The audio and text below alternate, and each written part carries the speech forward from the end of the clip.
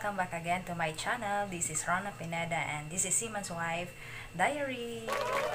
Ngayong gabi, magluluto ako ng yung napaka-common na luto ng bangus, sinabaw na bangus. So, ngayon, papakita ko sa inyo kung paano ako magluluto ng sinabawang bangus. Tara, samahan niyo ako.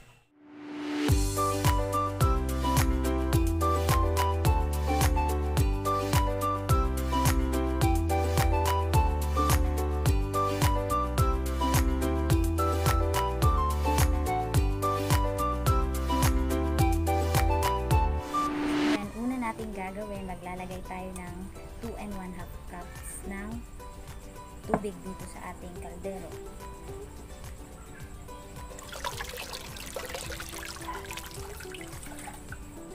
Depende sa inyo kung masabaw kayo. Mahilig kayo sa sabaw para kayong kalabaw humigop. Yan, damihan nyo ng sabaw. Pero ako, sakto lang yung 2 and half cups.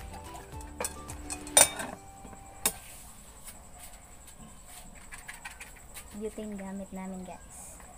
So, yan. With matching phosphor. Tagal. Yan. Yun oh, salang na natin. Yan, antayin lang natin siya na kumulo-kulo siya guys bago natin ilagay yung ating ibang ingredients. So, ayan mga sis, kumukulo na ang ating kaldero. Yung ating mainit na tubig, buksan natin. Ilagay na natin yung ating sibuyas, luya, kamatis. Yun. Tapos, takpan ulit natin. para ano siya ma-mix yung aroma, yung sarap ng mga ricados dito sa ating sabaw. Kailangan natin pakuluin na pa ng pangalawang kulo, second wave. Antay-antay ulit tayo, mga 5 minutes para naman sa ating ilalagay na next ingredient. Hmm, bango na. Naamoy ko na yung bango ng aroma ng ating mga uh, ricado. So ngayon, bubuksan ulit natin at ilalagay natin ang tanglad o lemongrass.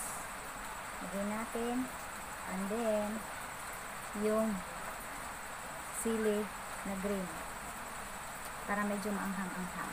Takpan ulit natin. Tapos, antay lang tayo ng mga 3 minutes.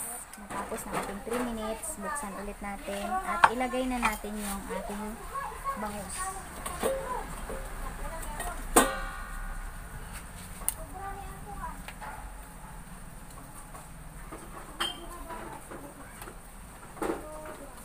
Sa lahat ng luto guys, yung sinabawan, sinabawang isda, yung ano, mabilis lutuin maliban sa paksiw, sinabawang isda talaga. Tapos, masarap humigop kasi ng sabaw ngayon. Medyo maulan-ulan. So, kaya dinner namin ngayon sinabawang.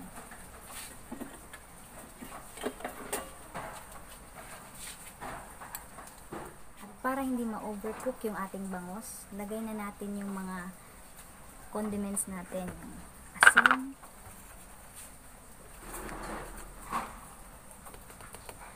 kanyang karaming asin.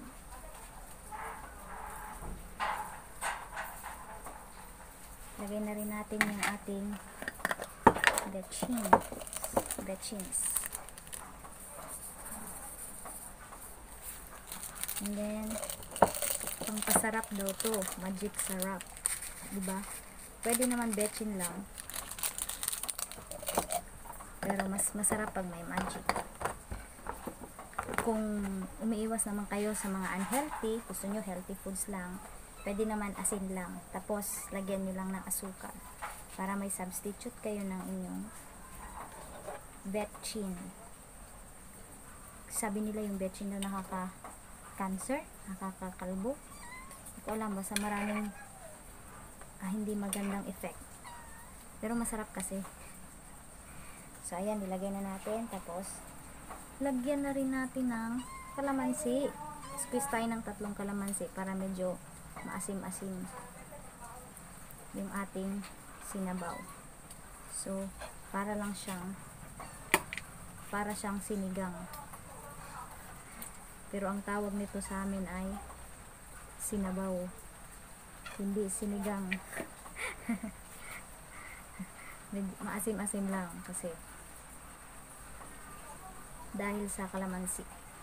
Yung kalamansi kasi nagdadagdag din ng ano siya, yung bango sa ating sinabaw. Comment sa baba kung sa mga sinabawang isda nyo naglalagay kayo ng kalamansi. Tapos takpan ulit natin.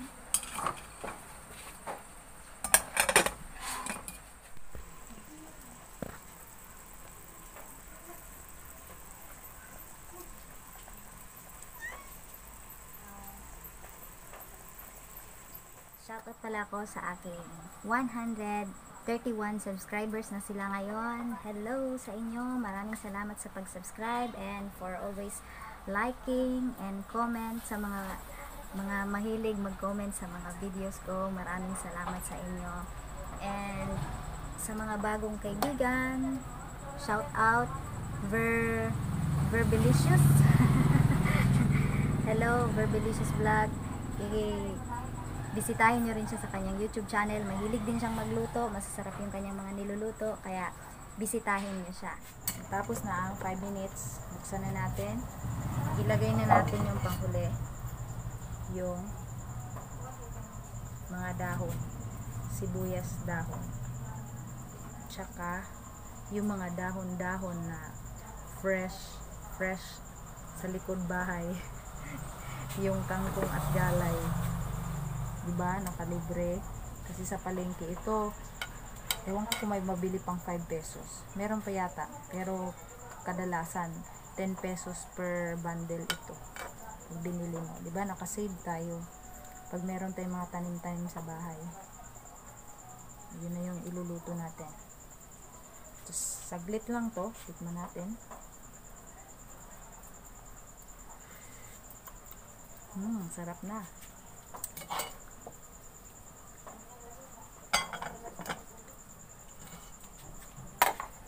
Yan guys, at luto na ang ating sinabawang bangus.